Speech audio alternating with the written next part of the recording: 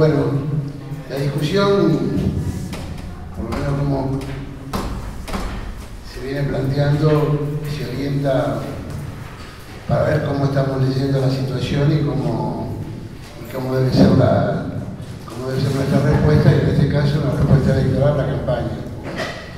Eh, yo lo primero que digo, nosotros siempre tenemos la tentación de pensarnos como si estuviéramos en el centro del dispositivo, nosotros estuviéramos pensando en la campaña de, Cristina, o, incluso del grupo de diputados, con algunos de los cuales los senadores, con algunos de los cuales podemos tener algún diálogo.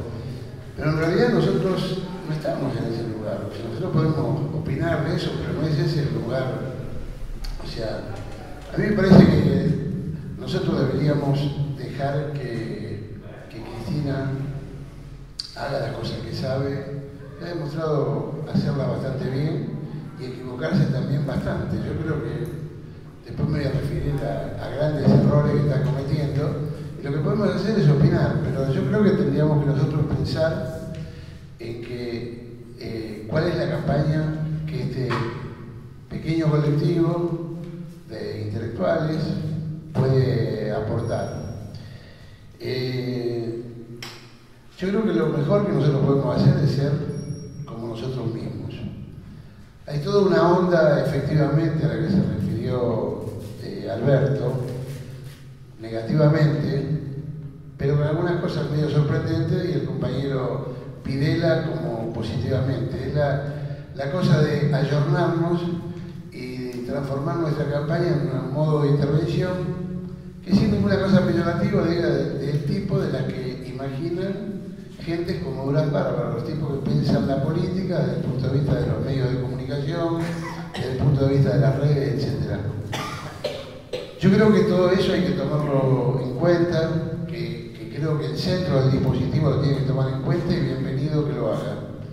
Pero me parece que nosotros, que la sociedad argentina es una sociedad muy compleja, es una sociedad muy compleja y que nosotros tenemos que llegar a los sectores, nosotros tenemos que llegar a los sectores a los que podemos llegar. Y para llegar a esos sectores, nosotros tenemos que apelar a la razón, apelar a lo que siempre ha sido la intervención de carta abierta, que es el pensamiento, la explicación, la racionalidad y por supuesto el sentimiento patriótico, el sentimiento de defensa de lo mejor que tenemos, de, lo más humilde de la población, del conjunto del pueblo argentino. Pero no tenemos, no, no podemos abandonar eso. Por eso yo creo que la primera tarea que tenemos que dar nosotros a esta campaña es una, carta del espacio donde expliquemos claramente algunas de las cuestiones que, ahora voy a, voy a, voy a plantear.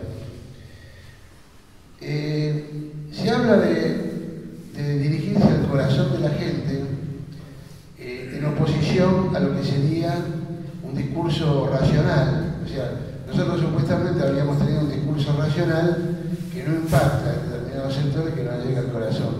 yo creo que eso es una absoluta tontería. Eh, se crime para eso, se hace eso, algunos lo hacen en nombre del peronismo. Cualquiera que lea los discursos de Perón y están, todos editados. Yo distribuyo una gran edición que hace un, peronista rosarino. E incluso los discursos de Eva Perón, que sería como, como el aspecto más este, visceral del peronismo, se va a encontrar con una enorme racionalidad. Con una enorme racionalidad, pero con un lenguaje adaptado al público al que se dirigía pero dirigiendo hablando del mundo en que vivía, eh, hablando del, continentalismo, del universalismo, de la situación del mundo, eh, explicando la economía, intentando explicar la filosofía, la, historia de la Argentina, la historia militar, o sea, no había tema, o sea, era, toda una construcción absolutamente racional y no por eso menos este, apasionada. Así que, muchachos, nosotros hagamos lo que sabemos que es lo que hicimos hasta ahora. Escribir, pensar, expresar. Nosotros no vamos a ir a ganar a la señora que se la va a ganar. Yo, yo aspiro a que haya un regimiento de, de tuiteros kirchneristas que hagan, pero yo no sé, yo no tengo Twitter, no sé hacer Twitter, no me voy a conformar en un tuitero a esta altura de mi vida. Puedo seguir haciendo las cosas que he hecho toda la vida y puedo de esa forma ganar a, alguna, a mucha gente que desde la racionalidad equivocó su voto, que tuvo algún resentimiento, que equivocó y que ahora a esa gente a la que creo que Carta Abierta tiene que dirigirse. Yo pienso que nosotros somos una, eh, mayoritariamente eh, vivimos en la ciudad de Buenos Aires, que tenemos un compromiso, coincido con Alberto, en que tenemos un compromiso con la batalla de la ciudad de Buenos Aires, y, pero eso no nos hace eh, ignorar que la batalla fundamental a nivel nacional, en esta, acá no estamos haciendo una elección municipal, estamos dando una elección nacional. Y la batalla fundamental se libra en el terreno de la provincia de Buenos Aires porque es el lugar donde se va a presentar Cristina Fernández. Tenemos que hacer las dos. ¿Qué pasa? Eh, acá en la ciudad hay una cuestión de, de primera importancia que es por primera vez la realización de una, no, no la primera vez, pero un paso que tiene eh, algún sentido. Hay una lista kirchnerista centralmente eh, que, que, encabeza a Kirchner, donde hay gente de Nuevo Encuentro, eh, digo, Filmus. hay una lista de izquierda que se ha sumado y que creo yo que es un enorme logro que se ha sumado a nuestro espacio, al espacio de unidad porteña, y está la lista de Guillermo Moreno. Yo pienso que al menos con la lista que encabeza eh, Itaí Hackman y que el paralegislador está Jonathan Tea, nosotros tenemos que hacer eh, honor al intento que hicimos, a la política, a la política virtuosa que tuvimos, que tuvo la conducción de, esta, del espacio nuestro político en la ciudad, de darles un lugar. Entonces, si hiciéramos, si pudiéramos organizar alguna actividad con los núcleos culturales, con los otros organismos culturales con los que estamos trabajando, me parece que tendríamos que, invitarlos también a participar y hacernos llegar su posición. Sería, sería una ridiculez haber hecho el intento de unidad, convocarlos y ahora dejarlos costado. Nosotros que somos un espacio plural, que no estamos este, articulados o direccionados este, hacia un solo lugar. Es claro, no hay ninguna duda para nadie, menos seguramente para Itaí Hackman, que no conozco ni sé, muy bien quién es y qué, piensa, que el representante nuestro va a ser Filmus, es decir, la, diferencia es enorme. Pero el papel que juega la presencia de alguien como Itaí Hackman, una presencia joven, con nuevas ideas, proveniente de la izquierda, en una ciudad como la de Buenos Aires, es muy bienvenida y nosotros le tenemos que abrir también la puerta. Eso no va a significar la pérdida para, para, eh, para sino que va a engrandecer nuestro espacio. Eh, de los errores, voy a ir cerrando porque se me, va un poco el tiempo. Eh, hoy salió en los diarios que la presidenta había recomendado a los dirigentes sindicales, la presidenta Cristina Fernández, no hacer, no concurrir a la marcha, no hacer la marcha del 7 de agosto. a mí me parece un grave error y está dentro de eso. Me parece que eh, la pelea electoral no excluye, sino que además se potencia con la presencia popular en las calles. Y sobre todo en el caso de una movilización que es tradicional, que tiene... Hola. Sí, sí.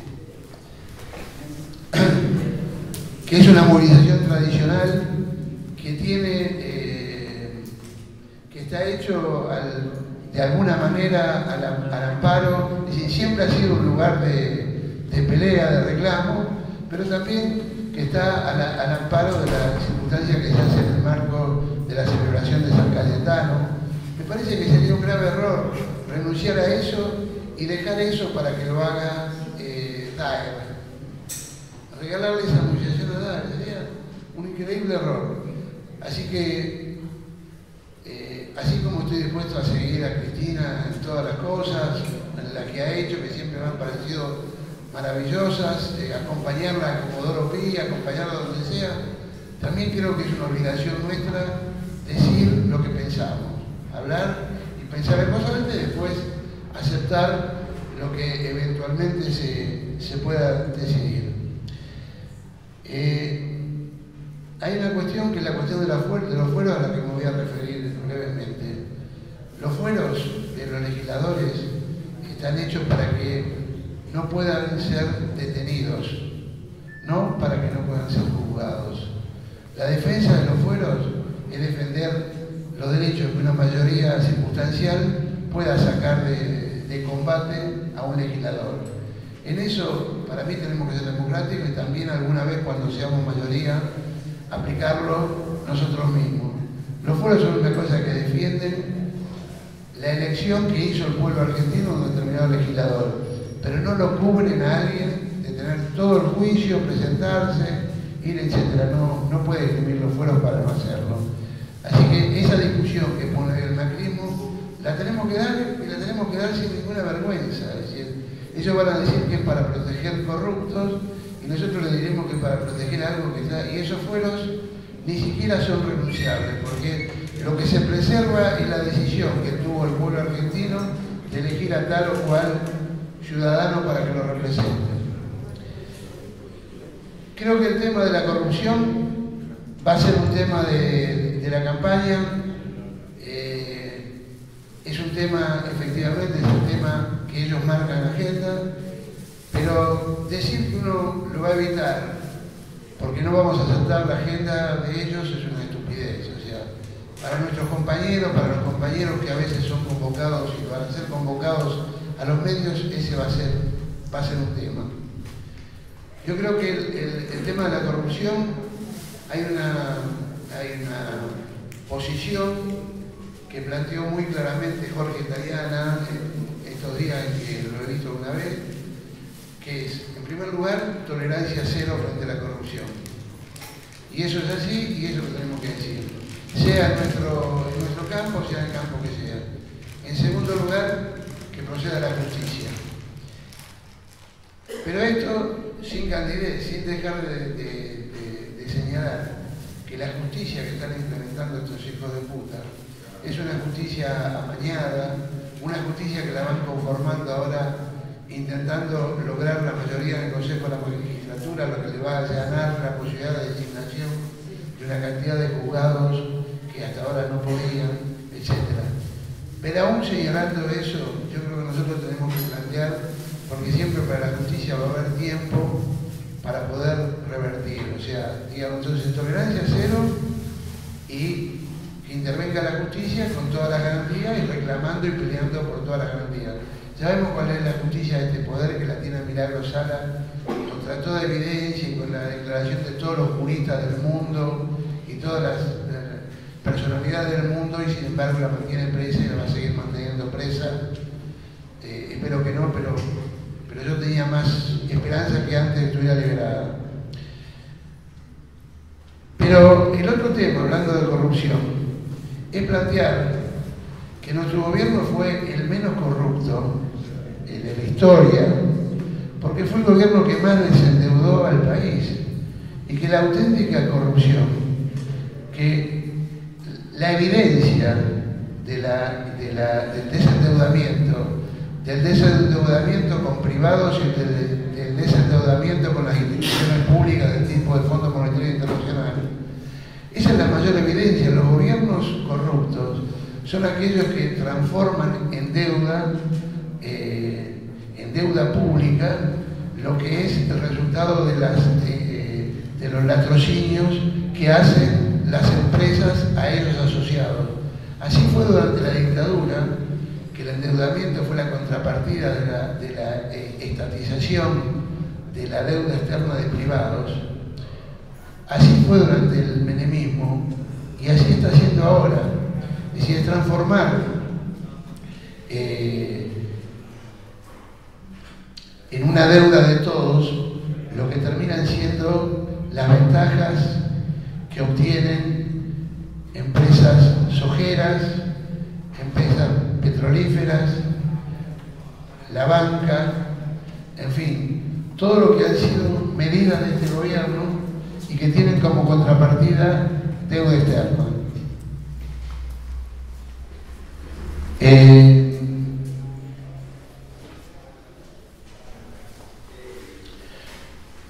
bueno, dentro de eso y como, para terminar, la, pareja eh, endeudamiento y, y es una... Y, en el, y en el otro costado y en la otra punta, la fuga de capitales, yo diría que Guillermo que lo explique bien, pero es un, que es un tema, eso es la auténtica corrupción, es la corrupción en miles de millones de dólares, en la que hipoteca el futuro de los argentinos. Así que levantemos la cabeza, seamos más carta abierta, hagamos una carta y participemos en todos los debates con idea. Eh, no, no me niego al coaching, que el coaching lo hagan los que tengan que ir, los que estén en el centro del dispositivo, que tuiteen lo que quieran. Nosotros defendamos al proyecto que defendimos desde hace muchos años con las ideas que siempre tuvimos. Gracias.